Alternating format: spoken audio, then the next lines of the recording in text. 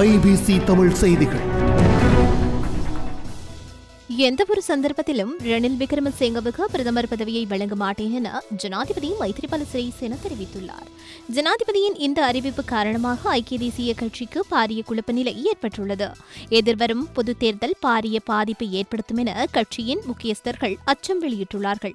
பொதுத் தேர்தலில் வெற்றி பெற்றாலும் ரணில் விக்ரமசிங்கவுக்கு பிரதமர் பதவி வழங்கப்படுவதற்கு ஜனாதிபதி இணங்க மாட்டார் என்ற நிலைப்பாடு ஐக்கிய தேசிக்கு வந்துள்ளது. இது தொடர்பில் கட்சியின் உயர் தலைவர்கள் கலந்துரையாடல்கள் மேற்கொண்டுள்ளார் மேற்கொண்டுள்ளார்கள் இந்த நிலைமை காரணமாக பொது தேர்தல் தனியாக பிரதமர் வேட்பாளர் ஒருவரை பெயரிடுவதற்கு கட்சியினர் நடவடிக்கை மேற்கொண்டு வருகிறார்கள். எப்படி இருப்பினும் அந்த யோசனைக்கு ரணில் விக்ரமசிங்க இணக்கப்பாடுகளை வெளியிடாமையினால் தொடர்ந்து பிரச்சனைகள் ஏற்பட்டுள்ளது. இந்த நிலைமைக்கு அமைய தொடர்ந்து ஐக்கிய தேசிய கட்சியுடன் இணைந்து செயல்படுவதில் பலனில்லை என சிறுபான்மை கட்சியினர் பலமுறை தெரிவித்துள்ளனர்.